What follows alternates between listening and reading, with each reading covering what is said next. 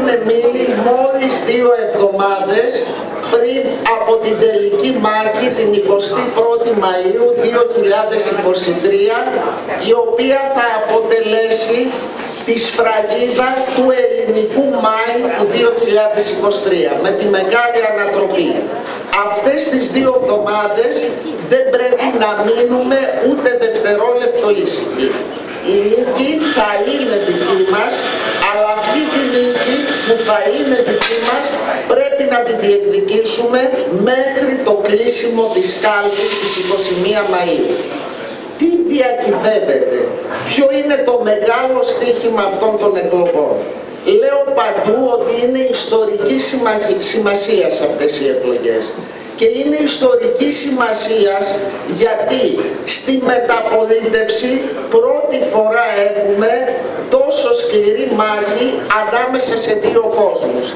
Ανάμεσα στον αριστερό προοδευτικό δημοκρατικό κόσμο και απέναντι του το δεξιό νεοσυντηρητικό νεοφιλελεύθερο κόσμο.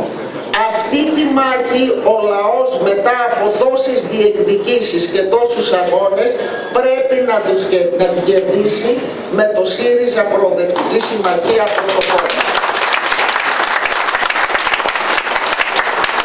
Και πρωθυπουργό τον Αλέξη Τσίπρα.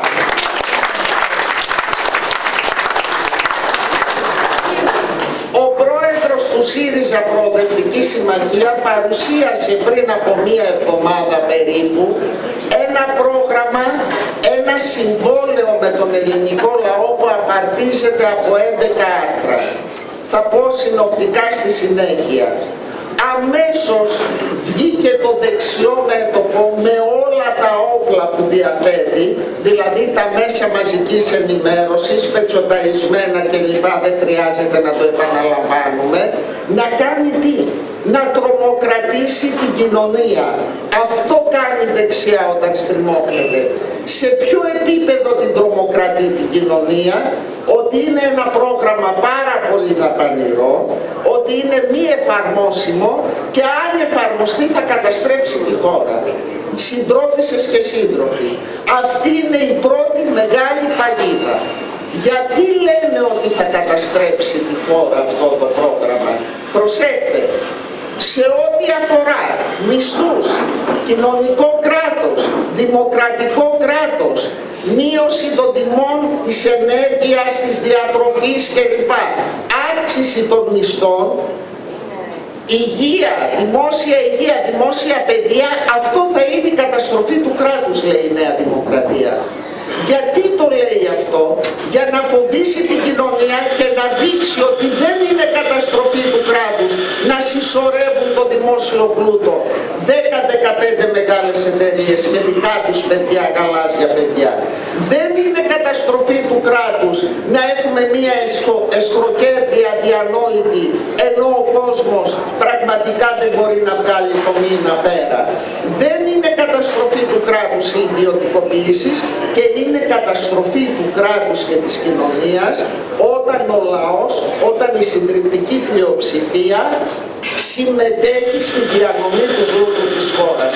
Αυτό και μόνο δείχνει ότι δεν έχουμε την 21η Μαΐου μία απλή εκλογή. Έχουμε το προς τα που θα πάει η χώρα. Ή θα αφήσουμε τη χώρα στα χέρια τους, στα χέρια των λίγων, ή θα πάρουμε πάλι με το ΣΥΡΙΖΑ Προοδευτική Συμμαχία στην πρώτη θέση, θα πάρουμε τις τύχες και τη μοίρα και την προοπτική αυτού του κόσμου, αυτής της χώρας στα χέρια μας. Λέει λοιπόν η Νέα Δημοκρατία, λέει η Νέα Δημοκρατία συνέχεια, πού θα τα βρει τα λεφτά. Να ξεκαθαρίσουμε κάτι συντρόφισσες και σύντροφοι και να το λέμε σε όλο τον κόσμο. Οι δαπάνες για κοινωνικό κράτος, οι δαπάνες για το δημόσιο σύστημα υγείας, για τη δημόσια παιδεία, δεν είναι δαπάνη, είναι επένδυση αυτού του τόπου. Είναι επένδυση για το μέλλον. Αυτή η νέα δημοκρατία του κυρίου Μητσοτάκη με τους λίγους γύρω του, τι θέλουν, θέλουν να σβήσουν όλες τις κατακτήσεις της μεταπολίτευσης.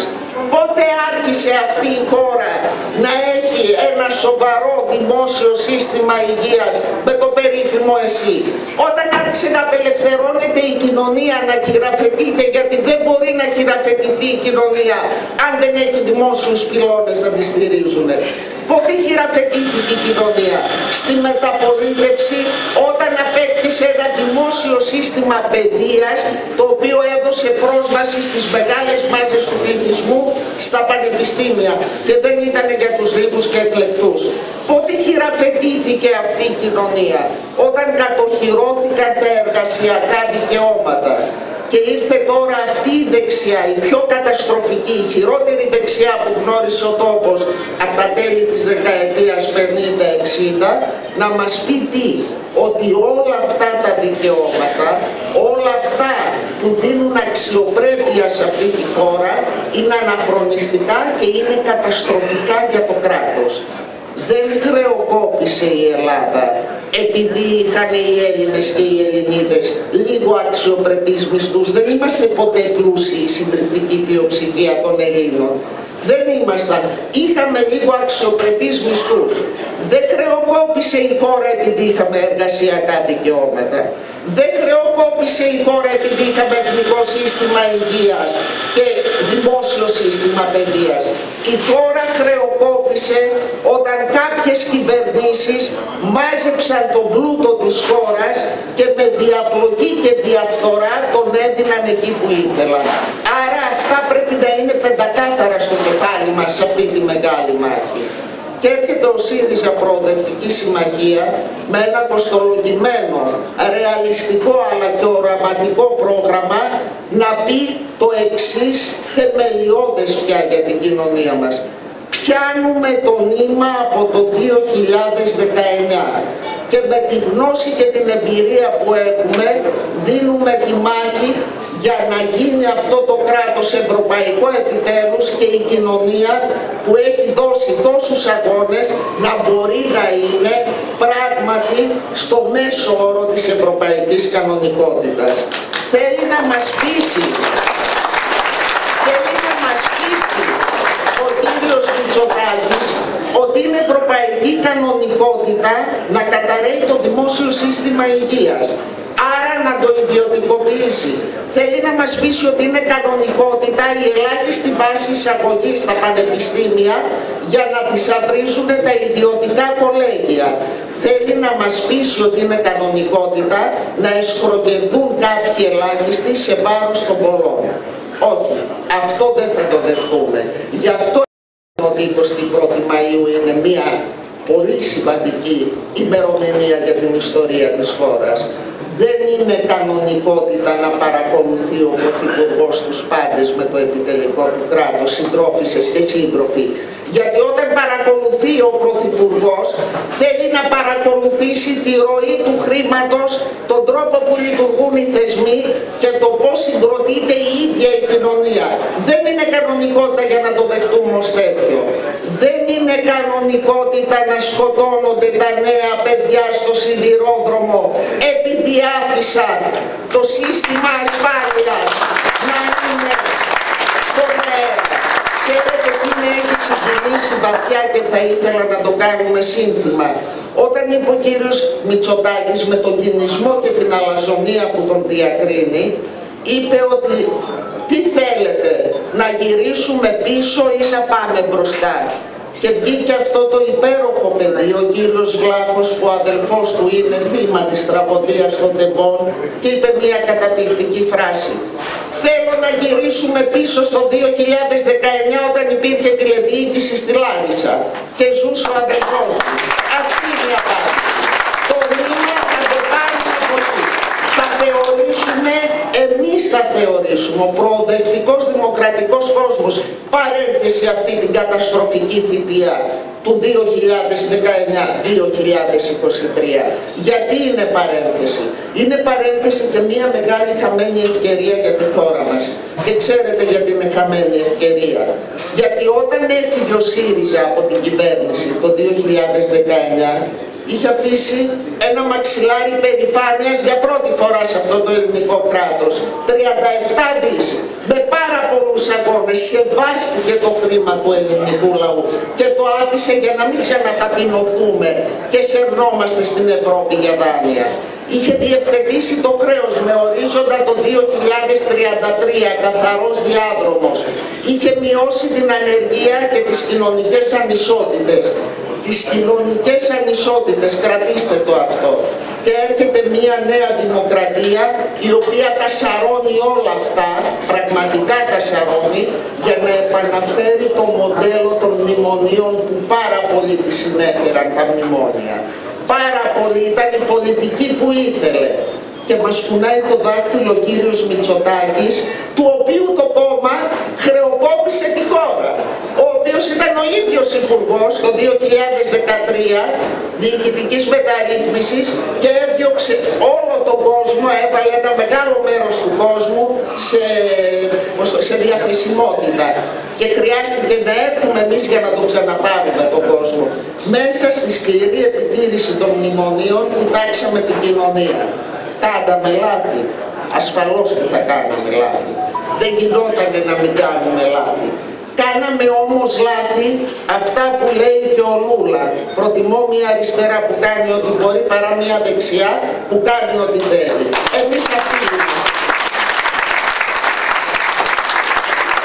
Σε αυτά τα 11 άρθρα λοιπόν, τα 11 άρθρα του συμβολέου του ΣΥΡΙΖΑ με τον ελληνικό λαό για τη μεγάλη ανατροπή μία μεγάλη ανατροπή που αν έλεγε ο Βορύδης ότι δεν πρέπει να ξαναυπάρχει αριστερά θα κάνουμε θεσμικά ό,τι μπορούμε για να μην ξαναυπάρχει αριστερά εμείς θα πούμε με τη δύναμη που θα μας δώσει ο λαός θα βάλουμε τη δεξιά εκεί που της αξίζει. Δεν θα χρησιμοποιήσω παλιές εκφράσεις για να μην λένε ότι θυμούμαστε άλλες εποχές και τέτοια αλλά εκεί που της αξίζει δεν αξίζει σε αυτή τη χώρα μία τέτοια κυβέρνηση. 11 σημεία του ΣΥΡΙΖΑ. Πρώτο άρθρο, τα άρθρα του συμβολέου. Πρώτο άρθρο, έχει κανείς αντίρρηση ότι πρέπει άμεσα να γίνει αύξηση του κατώτατου μισθού στα 880 ευρώ και αύξηση κατά 10% των μισθών των δημοσίων υπαλλήλων. Έχει κανείς αντίρρηση εκτός από τη δεξιά και τον κύριο Μητσοτάκη ότι πρέπει επιτέλους σε αυτή τη χώρα να υπάρχει ετήσια τιμαριθμική αναπροσαρμογή. Έχει κανείς αντίρρηση ότι πρέπει να ξαναδοθεί η 13η σύνταξη στους συνταξιούχους που τόσο λιδωρηθήκαμε όταν την νομοθετήσαμε και δεν την νομοθετήσαμε εύκολα. Είχαμε μεγάλη πίεση από κάποιους από την Ευρώπη που θέλανε να την καταργήσουν εντελώς από όλους τους Ευρωπαίους. Έχει κανείς αντίρρηση για τα αναδρομικά στους συνταξιούχους που τους κοροϊδέψανε.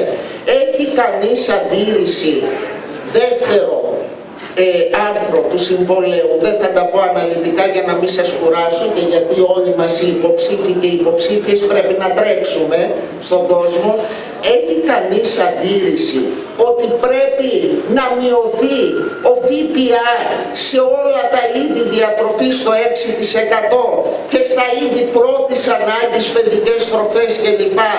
να μην, να, να μηδενιστεί. Το έκανε η Κύπρος και δεν έχει σοσιαλιστική κυβέρνηση Κύπρος. Το έκανε όμως γιατί βλέπουμε τις ανάγκες του κόσμου. Έχουμε καμία αντίρρηση. Ποιος έχει αντίρρηση εκτός από τον κύριο Μητσοτάκη; Να μειωθεί ο ειδικός φόρος κατανάλωσης στην ενέργεια στο κατώτατο ποσοστό όπως έχουν κάνει περισσότερες ευρωπαϊκές χώρες για να πέσει το κόστος παραγωγής στον αγροτικό κόσμο. Μιλάτε όλοι με αγροτικό κόσμο. Ξέρετε ότι δεν μπορούν να τα βγάλουν πέρα με αυτό το κόστος παραγωγής.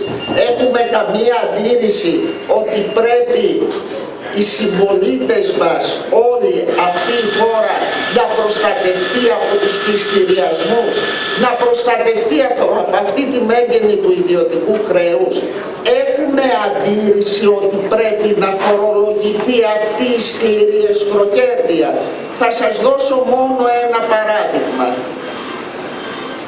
Βγήκε προχτές μία μελέτη από τη Eurostat, όχι από το ΣΥΡΙΖΑ Προοδευτική Συμμαχία, και τι λέει, οι 15 μεγάλες εταιρείες εισηγμένες στο χρηματιστήριο, Motorola, Μητυλινέος, τέρνα, ο πεθερός, ξέρετε, λοιπόν, τέρνα, ε, τράπεζες κλπ. Πόσο τζίρο είχανε; Ακριβώς το μισό προϋπολογισμό της χώρας. Γύρω δηλαδή στα 115 δισεκατομμύρια ευρώ. Το καταλαβαίνετε αυτό. Τι αναδιανομή και συσσόρευση πλούτου έχουμε στους λίγους. Αυτά δεν έχουν φορολογηθεί καθόλου. Φορολόγησε κανείς τα κέρδη των τραπεζών, τα υπερκέρδη, τα υπερκέρδη στην ενέργεια, τα υπερκέρδη παντού σε κάποιους κολοσσούς ε, σούπερ μάρκετ κλπ. Αυτή τη χώρα θέλουμε και να πεινάει ο κόσμος από την άλλη μεριά. Συγχρόνως αυτή η κυβέρνηση αύξησε της δεξιάς αύξησε το ιδιωτικό χρέος, εκτείναξε το ιδιωτικό χρέος που σημαίνει ότι κάποιοι άνθρωποι πνίγονται ενώ συγχρόνως αύξησε και το δημόσιο χρέος. Είναι ανίκανοι. Είναι ανίκανοι αναποτελεσματικοί γιατί κοιτάνε πάντα ελάχιστος. Έχει κανείς αντίρρηση ότι πρέπει να επανακρατικοποιηθεί η ΔΕΗ; Πώς θα κάνεις δημόσια πολιτική σε περιόδους ενεργειακής κρίσης, σε περιόδους μεγάλης, μεγάλης ακρίβειας και σκροκέρδειας, αλλά και οικολογικής κρίσης, αν δεν έχεις δημόσιους πυλώνες. Συντρόφισσες και σύντροφοι, η χώρα αυτή ορθοπόδησε ποια στιγμή. Όταν το κράτος έγινε ο πρωταγωνιστής της ανάπτυξης, όταν το κράτος μπόρεσε να κρατήσει τα ενία και να μοιράζει, να βλέπει πού χρειάζεται και πώς πρέπει να είναι αυτή η ανάπτυξη. Η ανάπτυξη δεν είναι ένας αριθμός, μας λένε είχαμε ανάπτυξη τόση. Και λοιπόν, αν αναπτύχθηκε ο Μητυλινέος, ο Τέρνα και ο ένας και ο άλλος, η χώρα που αναπτύχθηκε; Αυτό μας ενδιαφέρει. Έχει κανείς αντίρρηση ότι πρέπει να έχουμε ένα εθνικό σύστημα υγείας; Ότι πρέπει να φτάσει σε βάθος τετραετίας ο προϋπολογισμός για τα νοσοκομεία, γιατί για το Εθνικό Σύστημα Υγείας το 7% είναι ο μέσος όρος ο ευρωπαϊκός. Σε περιόδους πανδημικές, σε περιόδους όπου η ασθένεια, γενικώς η ασθένεια, πλήττει τους πληθυσμούς για διάφορους λόγους, το κράτος δεν θα έχει ένα καιρό πυλώνα όπου όλοι οι πολίτες θα αισθάνονται αξιοπρεπείς απέναντι στη χειρότερη στιγμή που είναι η ασθένεια. Δεν θα φτιάξει ε, τόμοι πρωτοβάθμια, δηλαδή βαθμίδα υγείας, για να μπορεί ο κόσμος να κάνει πρόληψη και το κράτος να προλαμβάνει και όχι να φτάνει στα νοσοκομεία, στην τριτοβάθμια ε, ε, υγεία που είναι τα νοσοκομεία. Έχει κανείς αντίρρηση από το 1-1-4 όσοι είσαστε πάλι εδώ, τον Λαμπράκηδο. Έχει κανείς αντίρρηση ότι αυτή η δημόσια παιδεία σε βάθος τετραετίας πρέπει να φτάσει στο 5% για να πούμε ότι έχουμε μια δημόσια παιδεία αντάξια αυτής της κοινωνίας και του πιο μορφωμένου, της πιο μορφωμένης γενιάς που είχε αυτή η χώρα και είναι αυτές οι γενιές που έχουμε και είναι στο περιθώριο που θέλει η κυρία Κεραμέως να τα στείλει όλα αυτά τα παιδιά, τα νέα παιδιά στην ιδιωτική εκπαίδευση. Έχει κανείς αντίρρηση; Και εδώ μπαίνω σε ένα δικό μου κομμάτι και θα το πω με μία φράση ότι η πολιτιστική κληρονομιά είναι εθνική περιουσία και ανήκει σε όλους τους Έλληνες και τις Ελληνίδες, όχι μόνο των δικών μας γενεών, αλλά και των γενεών που έρχονται. Από πού και ως πού τα μεγάλα μουσεία της χώρας είναι ιδιοκτησία Μητσοτάκη Μενδώνη για να τα δίνουν στους ιδιώτες. Τη δικιά μας περιουσία. Από πού και ως πού η Ακρόπολη και η πολιτιστική κληρονομιά είναι για λίγους και εκλεκτούς και κάποιους ιδιώτες που κυλιμένονται. Πώς είμαστε εμείς αξιοπρεπής κοινωνία όταν το ανεχόμαστε εμείς; Αυτό. Πώς είμαστε αξιοπρεπής κοινωνία όταν ανεχόμαστε το Εθνικό Αρχαιολογικό Μουσείο, το μεγαλύτερο μουσείο παγκοσμίως για αυτά τις συλλογές που έχει, πάει ο κύριος Μητσοτάκης και η κυρία Μενδώνη και ευχαριστούν την κυρία Μαρέβα Γκαμπρόφσκη που έγινε το όραμά της πραγματικότητα. Με συγχωρείτε, τι θεσμικό ρόλο έχει η κυρία Μαρέβα Γκαμπρόφσκη για να κάνει ο Πρωθυπουργός και υπουργός Πολιτισμού το όραμά της πραγματικότητα, τι θεσμικό ρόλο έχουν και τι αίσθηση του πολιτισμού και της κοινωνίας έχουν όταν υποβαθμίζουν τα πτυχία των καλλιτεχνών, όταν τους συμπεριφέρονται λες και είναι πραγματικά οι τελευταίοι της κοινωνίας σε μια χώρα που το βαρύ της πυροβολικό είναι παρόλα αυτά ο πολιτισμός. Θα κλείσω με τα άρθρα του συμβολέου γιατί είναι πάρα πολλά με το δημοκρατικό κράτος και τους θεσμούς. Το επιτελικό κράτος που έφτιαξε ο κύριος Μητσοτάκης ήταν ένα επιτελικό κράτος λίγων και εκλογικών. Οι παρακολουθήσεις ήταν η κορυφή του παγόβου. Οι παρακολουθήσεις και των, των ηγεσιών των ενόπλων δυνάμεων ήταν η κορυφή του παγόβουνου για ποιο πράγμα. Όταν λειτουργεί έτσι η δημοκρατία, καλά δεν είναι δημοκρατία, τι ήθελε να ελέγχει; Να ελέγχει τις ζωές των ανθρώπων, ειδικά αυτών που είχαν κομβικό ρόλο στην κίνηση του χρήματος, γιατί περί αυτού πρόκειται. Για το πού θα πάνε τα εξοπλιστικά, πόσα θα είναι τα εξοπλιστικά, τι θα γίνει, τους υπουργούς του. Για το τι συμφωνίες κάνουν και πώς κάνουν, μήπως ξεφύγει από το στενό πλαίσιο που έχει φτιάξει ο ίδιος ο κύριος Μητσοτάκης και με μερικούς δικούς του. Θέλουμε θεσμικές αλλαγές όχι για κανέναν άλλο λόγο. Γιατί όταν λέμε ασφάλεια, δημοκρατία, διαφάνεια, αυτά με θεσμικές αλλαγές γίνονται, όχι με, επιτελικά, ε, με επιτελικό κράτος αλλά Μητσοτάκη. Και στην αστυνομία θέλουμε αλλαγές, για μια αστυνομία πιο αποτελεσματική. Θέλουμε μέσα μαζικής ενημέρωσης να μην είμαστε στην 107η θέση πώς το ανεχόμαστε αυτή η χώρα που έχει δώσει τόσους αγώνες για δημοκρατία να μην έχουμε τη στοιχειώδη ενημέρωση. Να είμαστε στην 107η θέση. Πώς ανεχόμαστε η ενημέρωση που είναι ο πυλώνας της δημοκρατίας, ο ενημερωμένος πολίτης είναι πολίτης, διαφορετικά δεν είναι πολίτης, εμείς να μην έχουμε ενημέρωση βγήκε ένας κύριος διευθυντής των νέων είναι ο κύριος Λάμψκας στο κεντρικό δελτίο ειδήσεων που σκάει για να πει για ποιον, για το ΣΥΡΙΖΑ, για τον Αλέξη Τσίπρα, για εμάς τα στελέχη, ότι είχαμε σχέσεις με τη 17 Νοέμβρη. Ρώτησα δικηγόρο, πραγματικά ήθελα να του κάνω αγωγή και μήνυση. Αγωγή και μήνυση γιατί ήμασταν από αυτούς που σε όλη τη διάρκεια της ιστορίας μας ήμασταν εναντίον της τρομοκρατίας. Γιατί εμείς θέλουμε τον κόσμο στα κινήματα, στους θεσμούς, τον κόσμο χειραφετημένο. Όχι να μπαίνει με ζωρό και να δημιουργεί. Και αυτός το λέει στην τηλεόραση προεκλογικά για να δημιουργήσει κλίμα και να τρομοκρατήσει τον κόσμο. Ευτυχώς βγήκε η Πόπη Τσαπανίδου και το απάντησε. Αλλά αυτά θα τα έχουμε συνέχεια. Θέλουμε ασφάλεια ασφάλεια στις γειτονές, ασφάλεια στις ζωές μας, όχι ασφάλεια να βγαίνουν κουμπουροφόροι μέσα στον δρόμο μέρα μεσημέρι και να σκοτώνουν κόσμο. Ασφάλεια η οποία επιτρέπει στον πολίτη να ασκεί τα δημοκρατικά του δικαιώματα, να είναι στον δρόμο, να μπορεί να διαδηλώσει, να μην είναι παράνομες οι απέντιες και κατακριστικές θα είχαμε σωθεί αν κάνανε οι υπάλληλοι του ΟΣΕ ε, απεργία και δεν την είχαν βγάλει καταχρηστική και παράνομη. Θέλουμε ασφάλεια στο οδικό και σιδηροδρομικό δίκτυο και στο εναέριο δίκτυο. Είναι πολλά αυτά που ζητάμε. Είναι δυνατόν ο κύριος Μητσοτάκης να λέει για αυτά ότι είναι η καταστροφή της χώρας. Για μόνο και αυτό το λόγο πρέπει να μαυριστεί. Θα κλείσω με ένα πράγμα γιατί αρκετά σας κούρασα. Συντρόφισσες και σύντροφοι, το είπα και στην αρχή, θα το λέω συνέχεια. Είμαστε μπροστά σε μία ιστορική επιλογή. Είμαι σίγουρη για την νίκη.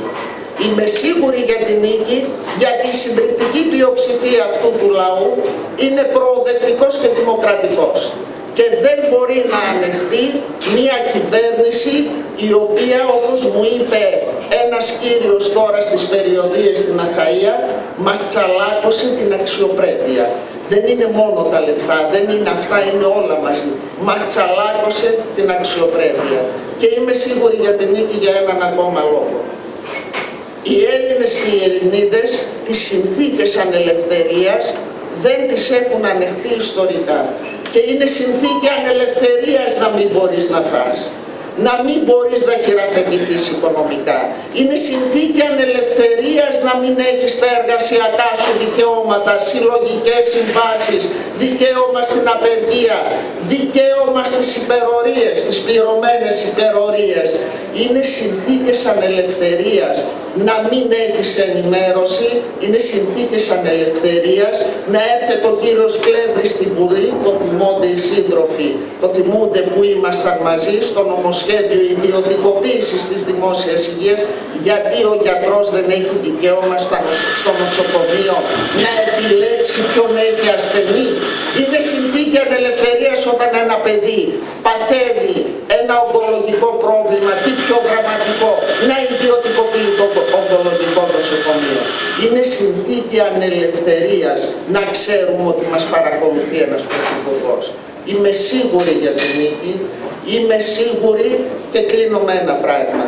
Την 21η Μαΐου το βράδυ, όποια προοδευτική δύναμη, δημοκρατική, αυτοαποκαλείται προσδιορίζεται στον προοδευτικό δημοκρατικό χώρο θα βρεθεί ενώπιον της ιστορίας και θα λογοδοτήσει ενώπιον της ιστορίας. Ο προοδευτικός κόσμος αυτής της χώρας, αριστερός δημοκρατικός, διεκδικεί επί δεκαετίες ένα πράγμα. Απλή αναλογική. Γιατί απλή αναλογική φέρνει σταθερότητα για έναν μείζωνα λόγο. Γιατί ο καθένας μας που ψηφίζει αντανακλάται η ψήφος του στο κοινοβούλιο. Δεν είναι μαζεύει κάποιος στην Αχαΐα για παράδειγμα το 19, ήμασταν 9 μονάδες μπροστά από τη Νέα Δημοκρατία.